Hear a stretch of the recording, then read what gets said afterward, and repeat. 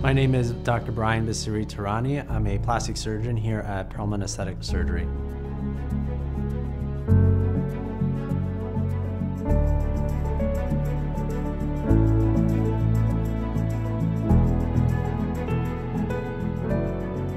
Originally from Long Island, and I started my training in Boston actually, doing my intern year in Massachusetts. I then completed my general surgery training in New York at Lenox Hill Hospital here in the Upper East Side.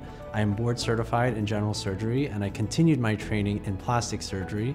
I did three years of plastic surgery residency in Chicago at the University of Illinois at Chicago. I did an additional year of aesthetic training in Atlanta, and that helps me give my patients the best outcomes possible when it comes to aesthetic and cosmetic surgery. My approach to plastic surgery is an individualized approach.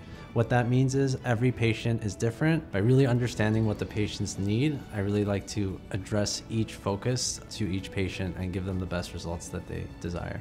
As I always say, beauty is in the eye of the beholder, and one person's desire may not align with somebody else's, and that's why it's important to really get to know the patient, really get to know what they want from the plastic surgery that they're seeking and see what the root of their goals are. We want patients to leave here feeling good about themselves. We want to empower beauty. We want them to feel like we're giving them the most youthful and best version of themselves. And that's usually what I like to talk about with my patients.